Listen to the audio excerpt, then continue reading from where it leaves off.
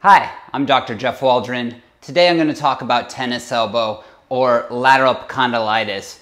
This is often this pain along the outside of the elbow and a lot of people get it even if they're not a tennis player. So in this video today, I'm going to talk about what it is, what causes it, and how we fix it. I hope you enjoy. What is tennis elbow?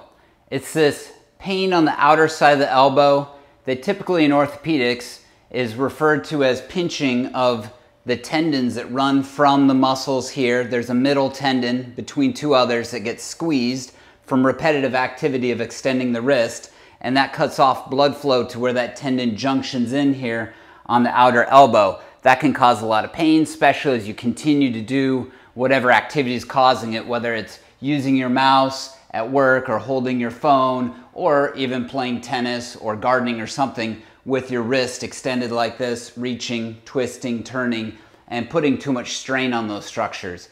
But oftentimes I see people, they've been getting treated for this and it's been lasting longer than six to eight weeks and they're still not getting better with stretching it and doing different things.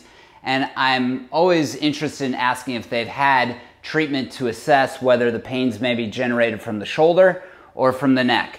So it's important you get a thorough evaluation from your doctor or your physical therapist. What causes tennis elbow or this lateral elbow pain? This is a, often a difficult thing to answer for people because there's sometimes multiple things causing the issue. However, it's mostly, like I said earlier, a repetitive wrist extension position, the sustained sitting at a desk, oftentimes poor posture with with the back and the neck. And so you may get a combination of things from the neck, from the shoulder, and the elbow, all generating this pattern. And so it's important for us to address all those things sometimes, especially if you're not getting relief with your current treatment plan, that we do correct the posture, correct what's going on in the neck, and assess some of these things. The other thing I often notice is that people have done so much activity palm down that they lack this mobility to turn their hand all the way over and they go to do it and they substitute through the shoulder. So I like to look at keeping that elbow in. Can they twist all the way palm up and have that mobility? Because these muscles can get tight between these two bones, the radius and ulna, and then we lose this spinning ability. Correcting that and how this bone rolls here up in the elbow is quite helpful in addition to bending the elbow and extending the elbow all the way. So we need to assess all these different joints and how they function in addition to can there be pain generated from the shoulder because they have this forward shoulder posture and head posture and we need to get those sitting back so the nerves and blood vessels running out of this area going down to the elbow can properly do what they need to do and get these muscles turning on and functioning correctly. How do we fix the elbow pain? I've talked a little bit already about correcting your posture and your mechanics and, and limiting some of those repetitive activities that are causing the pain in the first place. Those are really important. But here are some exercises you can also do to get some relief. Often with the posture, how do I fix my posture? So a simple exercise for that is to get against the wall with your back and you're gonna bring your arms up and then you're just gonna do like you're making this touchdown motion. This stretches the front of the chest and then it also strengthens the mid-back muscles between the shoulder blade. So just going up and down like so can start to correct some of that posture and strengthen through there. Additionally, a, a, second exercise is that sometimes these shoulder blade muscles are a little bit weak in the back. So I'm gonna show you how to do this with the wall, but oftentimes we could lie down and do this. You're gonna put your forehead against the wall, press one hand in the wall and lift off the other. So you just get against the wall and then you're going to go ahead and lift off and then push it back down. Push into the wall here, lift off. Good. Push here, lift off.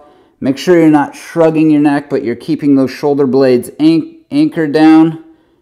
And then you can do 10, 15, whatever is meaningful here, making sure you're not getting increased pain generated from somewhere else. So just do what you can without discomfort and work on those muscles.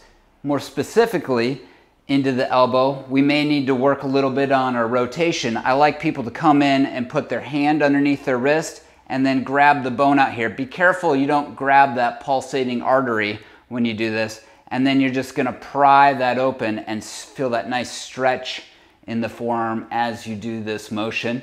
This is another excellent exercise. So you're coming in and you're basically, this is not spinning well, so you're grabbing with your fingers and pressing with your thumb at the same time to stretch that palm in an upward fashion. I'm not cranking my shoulder out, but I'm just keeping it right here to fix this lack of twisting over. The next thing that's, that's helpful, you may have been stretching. I see people come in there like, I'm stretching on the wall, I'm doing all this, but the sequence, because this is a long muscle, matters. So if you're going in stretching and your elbow straight, then you bend your wrist, the pull is more at the wrist. But if I start here and bend my elbow and bend the wrist first, and then second I extend, now the stretch is in the elbow at the area where the bulk of the muscle is. So it's important that you make sure you do this. Bent elbow, second wrist, then straighten so you can get a stretch at the elbow. Okay, the last thing is we know strengthening is important in the elbow. And oftentimes people may have done some repetitive activities and they're weak in one direction. And that's why it's important to get some guidance from a physical therapist or your doctor to go ahead and figure out where you're weak we often go through and do, and this is supported with the elbow bent, we could do some wrist extension. I have people as a target aim for their middle knuckle or their third finger going up the center of the wrist. So you don't square up the weight to your surface.